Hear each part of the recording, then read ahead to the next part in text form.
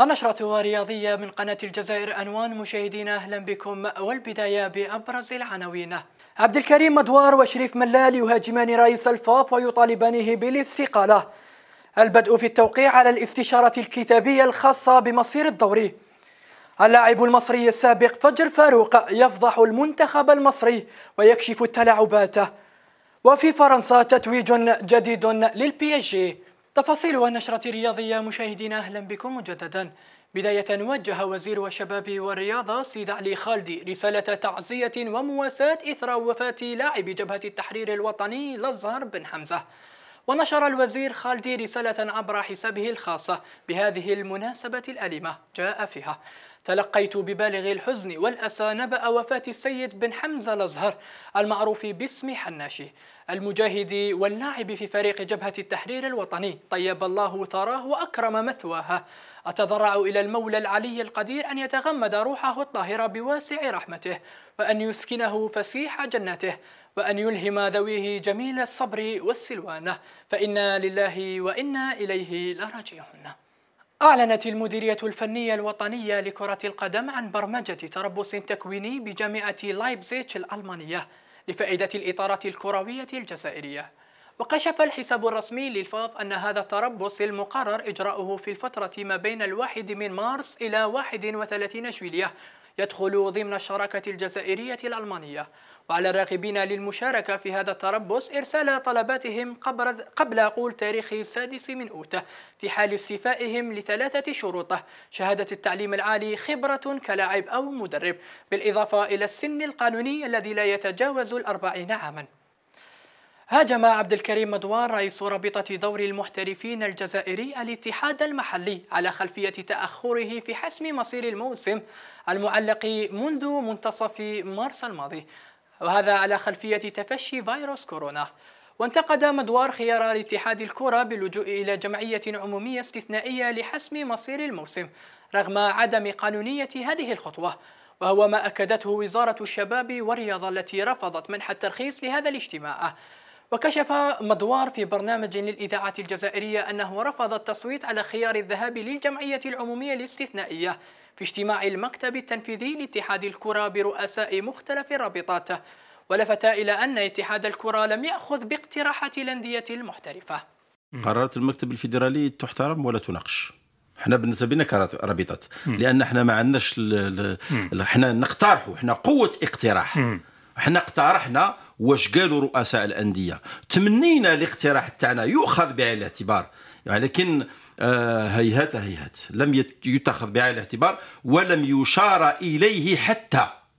لهذا الأسباب أنا يعني غير راضي على آه غير راضي على آه عدم احترام وقرارات رؤساء المحترف الأول والثاني. انتقد رئيس فريق شبيبة القبائل شريف ملال رئيس الاتحاد الجزائري لكرة القدم خير الدين زطشي بخصوص الاستشارة المكتوبة الموجهة للأندية. ونشط شريف ملال ندوة صحفية للحديث عن الاستشارة المكتوبة التي اعتمدتها الفاف لتحديد مصير الموسم الكروي وقال رد شبيبة القبائل واضح. عندما اجتمعنا مع رئيس الرابطة قدمنا اقتراحات سلمناها لعبد الكريم دواره من أجل تقديمها للمكتب الفيدرالي لكن للأسف لم يتم أخذه بعين الاعتبار. لم أفهم لماذا المكتب الفيدرالي يرسل هذه الاستشارة في هذا الوقت بالذات. رئيس الفاف لم يسبق له وأن اجتمع مع رؤساء الأندية والآن يبحث عن آرائنا. اليوم رئيس الفاف فشل في مهمته ولا يمكنه حتى اتخاذ القرارات وعليه أن يقدم استقالته والخروج من الباب الواسع. عام كامل ما اجتمعش مع les présidents des clubs عام كامل ما هضرش مع les présidents des clubs ما سمع لهمش دروك كي جات الآخر يحب يسمع les présidents des clubs. أنا اليوم نقول بليك اليوم آه le président تاع la FAF il a failli خلاص il a failli في la mission تاعو. وين هو؟ ما يقدرش personnellement ياخذ des décisions fermes que اليوم le président de la FAF quand même il est souverain تاخذ ال bureau fédéral ياخذوا القرارات اللي عندهم كل القوانين باش باش ياخذوا القرارات. اليوم ما عندهمش الشجاعة باش ياخذوا هذه القرارات. يعني قلت أنا لازم يروح l'AGEX ويحط لأخذ la démission تاعو. وكاين قادر تقدر تسير الكرة الجزائرية. أكد عبد الناصر ألماس رئيس مجلس إدارة مولودية الجزائر أن فريقه سيصوت لخيار الموسم الأبيض في ظل استحالة استكمال الدور المحلي بسبب جائحة كورونا. وقال ألماس في تصريحات خاصة أن موقف مولودية الجزائر كان واضحا منذ البداية وأكد أنه مع خيار الموسم الأبيض بالنظر إلى استحالة استكمال الدور. لا يعقل أن يتم إلغاء الموسم واعتماد الترتيب الحالي رغم أننا نمتلك مباراة مؤجلة وباستطاعتنا المنافسة على التتويج باللقب. آه، طلعت على الوثيقة عبر شبكة التواصل الاجتماعي لكن رسميا لم آه، لم يعني نتلقى رسالة من الفيدراليه سواء البريد البريد العادي أو البريد الإلكتروني ونستناو إن شاء الله في الساعات المقدمه المقبلة إن شاء الله نتحصلوا على هذا الوثيقة رسميا باش يتسنى لنا ونجاوبوا لها وحنا الموقف تاعنا واضح يعني حنا تقدمنا حتى اقتراحات وتكلمنا فيما يخص آه، قلنا أعطينا رأينا فيما يخص مواصلة الموسم.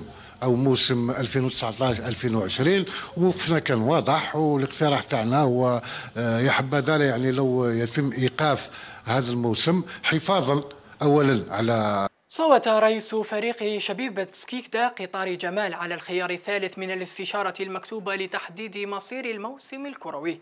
وعرض المكتب الفيدرالي إلى الاستشارة المكتوبة على أعضاء جمعية العامة لتحديد الصيغة المناسبة لإنهاء الموسم الكروي المتوقف منذ شهر مارس الماضي بسبب فيروس كورونا المستجد. واختار رئيس شبيبة سكيكدا الخيار الثالث المتعلق بإنهاء الموسم مع تحديد الأبطال والأندية الصاعدة وإلغاء السقوط. أعلن محمد زرواطي رئيس مجلس إدارة شبيبة الثورة رفضه المشاركة في الاستفتاء الكتابي الذي باشره المكتب الفيدرالي معتبرا تحركاته الأخيرة غير بريئة وكان الاتحاد الجزائري فاف قد باشر هذا الأسبوع إرسال استشارات كتابية لجميع الفاعلين في مجال كرة القدم ورؤساء الأندية والرابطات وهذا لاتخاذ قرار نهائي بشأن مصير الدوري. وقال النادي البشاري في بيان عبر صفحته الرسمية على فيسبوك إدارة شبيبة الثورة ترد بطريقتها الخاصة على مقترحات الفاف لتحديد مصير البطولة الوطنية. نعتبر مقترحات اتحاد الكرة تلاعبا وشعبوية تهدف إلى التحضير للانتخابات المقبلة دون مراعاة الوضع الصحي العام. اقترب نادي شباب الوزداد من التعاقد مع العراقي علاء عباس مهاجم الكويت الكويتي وهذا خلال فترة الانتقالات الصيفية المقبلة لتعزيز صفوف الفريق في الموسم المقبل حيث أن إدارة الشباب ربطت اتصالاتها بوكيل اللاعب ومقربين منها لإقناعه بتقمص ألوان الشباب. وأكدت مصادرنا أن تواجد اللاعب حرا من أي التزام حمس إدارة الشباب على التعاقد معه خاصة أنه يمتلك إمكانات كبيرة. وقادر على تقديم الإضافة للنادي البلوزدادية المقبل على المشاركة في دوري أبطال إفريقيا. ويمتلك علاء عباس عدة عروض احترافية سواء من أندية عربية أو أوروبية طلبت الحصول على خدماته في الفترة الأخيرة على غرار جيل فيسنتي البرتغالي ومولودية الجزائر. أكد رضا بن سايح لاعب شبيبة القبائل أنه يشعر بالراحة لوجوده في تيزي وزو ولا يفكر أبدا في مغادرة الفريق. وقال بن سايح خلال مؤتمر صحفي لا أفكر أبدا في الرحيل عن شبيبة القبائل فأنا مرتبط بعقد يمتد إلى ثلاث سنوات مقبلة. سأحترمه إلى النهاية. رغم أنني أمتلك عدة اتصالات من أندية محترفة حاليا أحاول التركيز على لياقتي وجاهزيتي بتطبيق برنامج تدريبي خاص. رغم أن هذا الأمر لن يكون كافيا فلا شيء يعوض التدريبات الجماعية والمنافسات الرسمية لا سيما أن التوقف دام أكثر من أربعة أشهر. دابا في لا بيريود داكي لا بيريود داكي تسد ديفيسيل في لانا كوم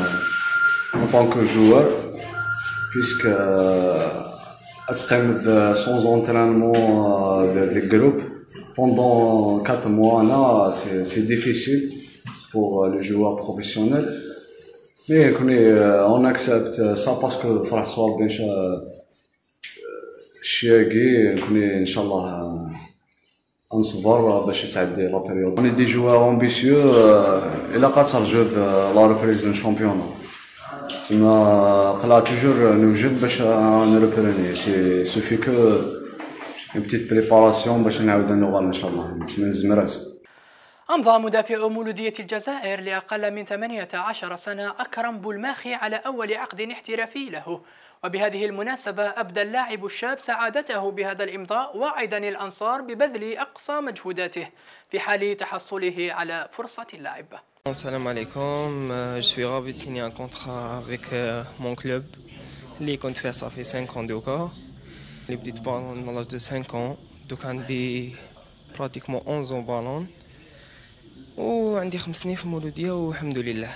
الحمد لله. المنتخب الوطني اللي فيه من 20 سنه سبق لك المشاركه ربما أيضا كم هي مده العقد والمصير تاعك آه نعم كنت في المنتخب الوطني يوفان ومدة العقد هي ثلاث سنوات مع مدير الجزائر والمنصب تاعي مدافع محوري. انت سبق لك أيضا التدرب مع فئه الأكابر. ربما شي ماتش يجيك صعب مستقبلا ربما واش من هي الطموحات تاعك الآن؟ bien sûr bien sûr. الطموحات تاع أي joueur هذا العام ولا في مولودية ولا في tout autre club c'est de jouer en senior après الاحتراف. c'est sûr. بالنسبة للزملاء تاعك اللي حابين يسيروا على خطاك ويمضوا عقد الاحترافي واش تقدر تقول لهم؟ ربما العمل والاجتهاد؟ العمل العمل ثم العمل ثم العمل هذا ما كان. الناس اللي ساعدتك باش لحقت الآن لامضاء عقد الاحترافي الأول ديالك واش تقول؟ آه نشكرهم نشكرهم مدربين وكاين إداريين surtout المدربين اللي عاونوني بزاف. نشكرهم بزاف بزاف بزاف. وإن شاء الله مزيد من النجاحات الآن الكرة في مرماك ربما توعد الانصار باش تقدم الإضافة في حال إن شاء الله من لك الفرصة. bien sûr bien sûr. إن شاء الله يثقوا فينا المدربين يعطونا la chance اللي لازم. وإن شاء الله نكونوا قدها. وبإذن الله بإذن الله كاينة حاجة إن شاء الله. وفي أخبار محترفين اعتلى اللاعب الدولي الجزائري ياسين ابراهيمي صدارة هدافي الدوري القطري ب 13 هدفا مناصفه مع مواطنه بغداد بنجاح والقطري أكرم عفيفه وسجل ابراهيمي يوم الجمعة هدف التعادل لفريقه الريان أمام نادي قطر عن طريق ركلة جزاء عند الدقيقة الأربعين من عمر المقابلة. يريد أن يسجل الهدف الثاني عشر له ليكون حاضرا مع أكرم مع بغداد في صدارة في بطولة الدوري هذا ياسين 11 هدف هل يسجل يعادل الرجال عن طريق ركلة الجزاء. إبراهيمي جاسم الهيل. إبراهيمي جاسم الهيل. وين راحت راحت بعيد. سجل اللاعب الدولي الجزائري أيوب عزي هدف التعادل لفريقه أم صلال أمام نادي الدحيل في إطار الجولة الثامنة عشر من الدوري القطري. وتمكن المدافع السابق لفريق مولودية الجزائر من إضافة الهدف الثاني لرصيده في الدوري القطري بعد وصوله لمرمى الحارس محمد البكري في الدقيقة الواحدة والخمسين من عمر المقابلة. مسلوب صاحب الكرات الثابتة المحترف الجزائري ممكن هدف التعادل ممكن هدف التعادل لمصلحة نادي مصلال أتى التعادل. أتى التعادل سريع لمصلحة نادي مصلال. أرسلها الجزائري سجلها الجزائري. عن طريق أيوب عزي من وليد مسلوب إلى أيوب عزي. هم خطيرين بالكرات الثابتة. توني كنت أتكلم على الكرات الثابتة. دائما تصنع الفرق لنادي مصلال. الآن أتى الحل. لكن يا سلام على شوط المباراة الثاني. شوف بالإعادة شوف. شوف بالإعادة شوف. جاي من الخلف. جاي مسرع على طول. شوف ارتقاءه. صعبة صعبة. وين دفاع نادي التحيل وين؟ بصم أمسية يوم الجمعة النجم الدولي الجزائري فريد بولايا على هدف عالمي مع فريقه ميدز الفرنسي. فريد بولايا سجل الهدف الثاني لميدز في مواجهة ودية ضد شارلروا البلجيكي. الهدف جاء بعد مراوغة رائعة أسقط بها مدافع الخصمة وتسديدة قوية بالقدم اليسرى. سكنت شباك البلجيكيين. اللاعب الجزائري لم يكتفي بهذه فقط بل قدم أيضا تمريرة حاسمة خلال هذه المواجهة الودية.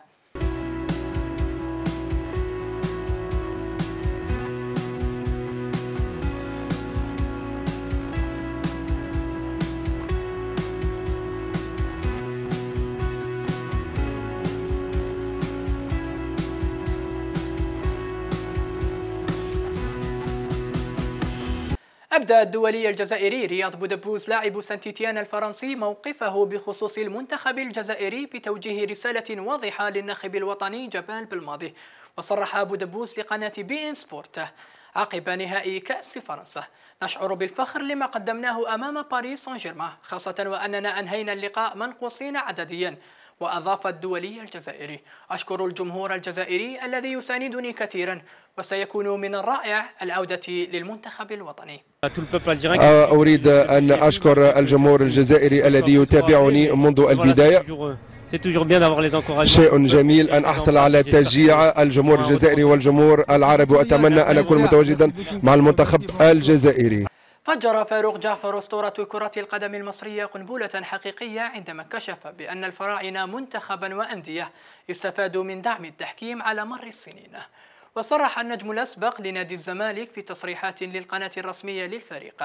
في الثمانينات والتسعينات الحكام كانوا يساعدوننا. لم نكن لنتأهل لمونديال 1990 لولا دعم التحكيم. لقد كانوا يطلبون منا الذي نريده سواء ضربات جزاء أو بطاقات حمراء للمنافس. لقد تمت مجاملتنا كثيرا سواء المنتخب أو الزمالك أو الأهلي أو الإسماعيلي خاصة عندما تقام المباريات على أرضنا. زمان كان يجيبوا الحكام في البطولات الإفريقية لينا والأندية تانية مش إحنا بس ونقعد مع الحكم. وأنا كنت بقعد مع الحكم ككابتن. الحكم يقول لي عايز ضربة جزاء ولا تطرد لعيب؟ ومعايا الإدارة ومعايا مدير الكورة ومعايا مدير إداري قاعدين معايا. يعني يعني يعني حكم يقعد معاك؟ أنا يقعد معاك بس زمان الحكام الأفارقة كانوا بيجوا يقعدوا معانا قبل المباراة إحنا عايزين إيه؟ أنت بتتكلم جد يا كابتن؟ خلاص بقى. انت بتقول يا كابتن؟ تقول حاجة صعبة جدا يا كابتن. والله صح بتكلم بجد. الحكام الأفارقة؟ ده بيجوا لنادي الزمالك؟ توج نادي باريس سان جيرمان بكأس فرنسا لكرة القدم بعد فوزه على سان تيتيان بهدف نظيف في مواجهة شهدت خروج كيليان مبابي بعد تعرضه لتدخل عنيف على ملعب فرنسا في العاصمة باريس. حقق سان جيرمان اللقب للمرة الثالثة عشر في تاريخه ليبتعد بفارق ثلاث ألقاب عن مارسيليا صاحب المركز الثاني في ترتيب أكثر الأندية فوزا باللقب. وسجل البرازيلي نيمار هدف المباراة الوحيد لباريس سان جيرمان في الدقيقة الثالثة عشر من زمن اللقاء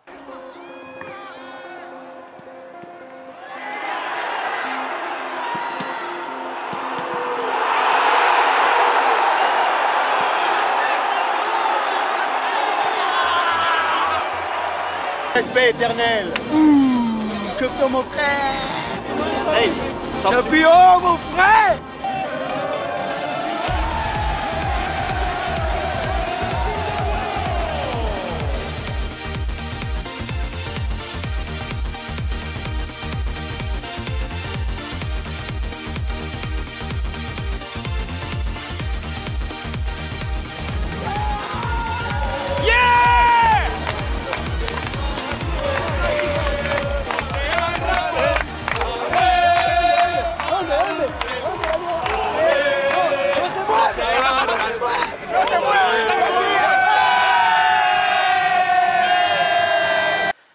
هذا وشهدت المباراة النهائية بالضبط في الدقيقة السادسة والعشرين تعرض اللاعب الفرنسي الشاب لنادي باريس سان جيرمان كيليان مبابي لتدخل خطير.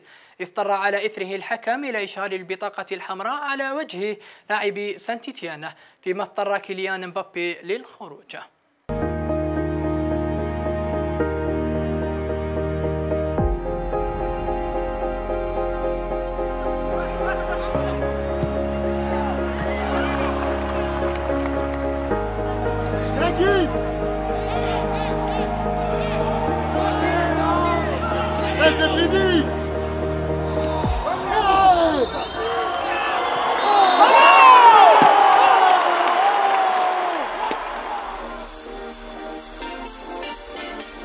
نشب خلال مباراة الجولة الأخيرة من الدوري الإنجليزي والتي جمعت ليفربول بضيفه تشيلسي خلاف حاد بين مدربي الفريقين فرانك لامبارد ويورغن كلوب إذ بدأ الأمر بعد احتساب مخالفة لصالح ليفربول ليخرج لامبارد قائلا كيف تكون هذه مخالفة؟ ثم اقترب من المنطقة الفنية الخاصة بالريدز ليجد أمامه مساعد كلوب وصرخ لامبارد في وجهه قائلا عد إلى مكانك وهذا ما أغضب كلوب الذي اقترب نحو مدرب البلوز وقال اهدأ ولا تتحدث مع مساعدي بهذه الطريقة. وبينما حاول الحكم الرابع ليماسون إعادة الأوضاع لطبيعتها قال كلوب لا لا لو أراد أن يصرخ في وجهي بهذه الطريقة فيجب أن أرده. وبعد أن توقف الشجار قليلا وأثناء عودة لومبارد إلى مقعده قال للحكم الرابع إنها ليست مخالفة.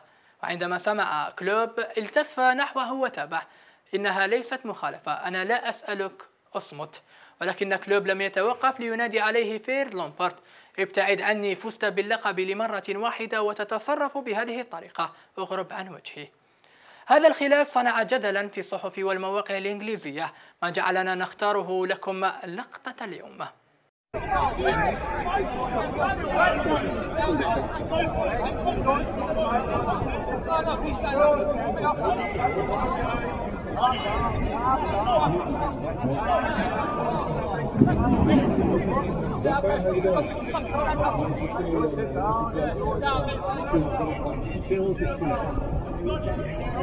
Haircut Steve. That's all I'm saying. It's not a fucking foul. I'm not asking you. I'm. Shut up. Shut up.